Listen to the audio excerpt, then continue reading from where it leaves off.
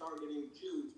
But if we can't come out of this teachable moment with a deeper commitment to truth and integrity and honesty and courage, then we're not going to be able to be consistent and learning what we need to, which is it man and humanity demand the fact that we human beings treat each other so viciously in a variety of different ways.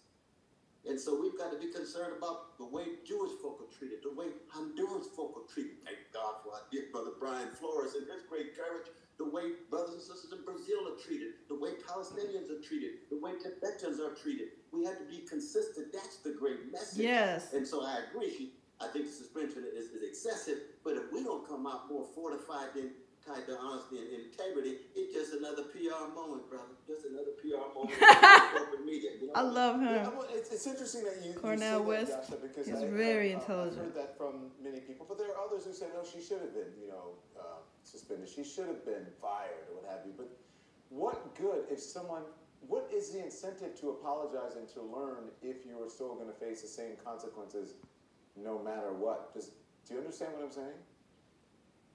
Yeah, no, I agree with you entirely. Um, you know, I think there's a broader issue here. I think we're in a strange moment in which we've lost one of the fundamental things we have to believe to live in a democracy, which is that most of the time, most of our fellow citizens are trying to do the right thing and can be decent people and are open to argument, are open to persuasion. And so, uh, you know, as a result, we get very worried and we say we have to make sure that bad ideas aren't heard because they're going to influence people unduly, they're going to lead to these disasters. Um, and I understand those fears. There's a lot of terrible ideas out there. There's a lot of dangerous politicians running around. Um, but if you believe in democracy, as I do, you've got to believe that you're actually able to persuade people with the morally right and the factually right ideas. And the way to do that is not to make them scared, not to make them afraid, not to make them think if I somehow slip up and say something wrong, even if I'm as big a star as Whoopi Goldberg, I'm just going to go and be banished and punished and so on.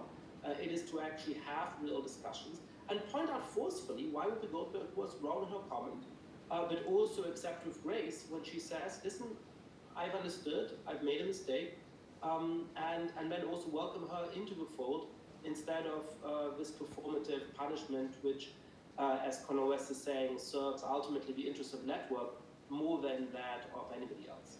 The interesting thing is that you know, we have this idea, what I said earlier, this sort of um, modern idea about what race is.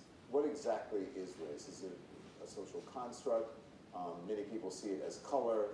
Is it something that's visible? What exactly is it? Let's have that conversation. We'll take a break and we'll talk about it on the other side. We'll be right back.